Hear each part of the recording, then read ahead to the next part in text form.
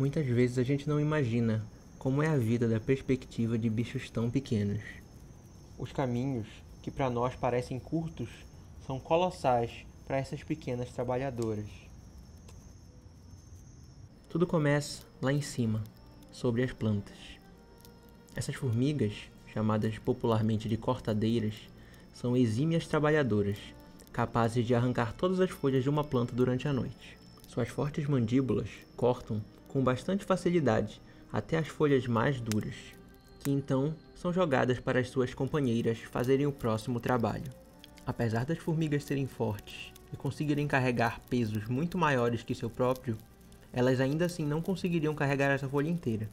Então, elas usarão as suas fortes mandíbulas para cortar a folha e levar os pedacinhos até o ninho.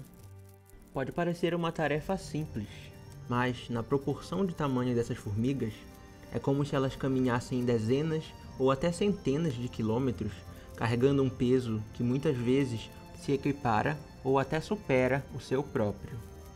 Ao contrário do que muita gente pensa, essas formigas não se alimentam diretamente dessas folhas. Na verdade, elas usam para cultivar um fungo, um fungo muito especial, que apenas existe nos ninhos dessas formigas cortadeiras. É desse fungo e apenas dele que elas e as larvas irão se alimentar. Todas as formigas do ninho são irmãs, fêmeas e filhas da rainha, que muita gente pode conhecer como Tanajura quando elas estão na sua fase alada em busca de um local para construir um novo ninho. Apesar dessas formigas serem odiadas por muita gente que cultiva plantas, no ambiente onde elas vivem, elas são extremamente importantes.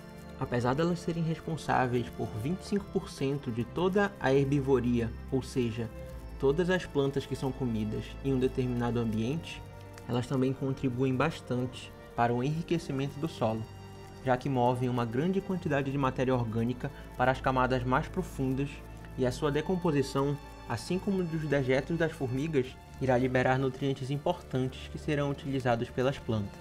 Além disso, ao se alimentarem das copas das árvores, elas permitem que a luz adentre até as partes mais profundas da floresta, permitindo o crescimento de novas plantas. As colônias de saúva podem ser gigantescas, e seus ninhos podem ocupar vários metros quadrados. Em colônias grandes, o número de operárias pode exceder os milhões, e elas variam muito de tamanho, desde as enormes soldadas até as minúsculas operárias que ficam cuidando do fungo e da prole.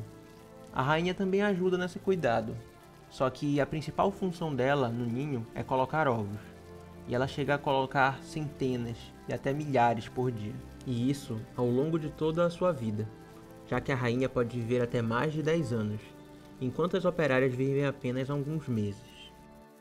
Então, da próxima vez que você olhar esses bichos, pare e pense um pouquinho sobre a grande jornada que elas têm que fazer todo dia.